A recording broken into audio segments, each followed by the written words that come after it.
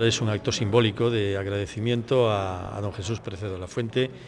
eh, canónigo y deán que fue de, esta catedral, eh, profesor ilustre y compañero además mío durante muchos años en el Instituto Gelmírez y, además eh, una persona con una gran generosidad y con una gran entrega. Yo diría que evidentemente la seña de identidad de su vida fue la vocación jacobea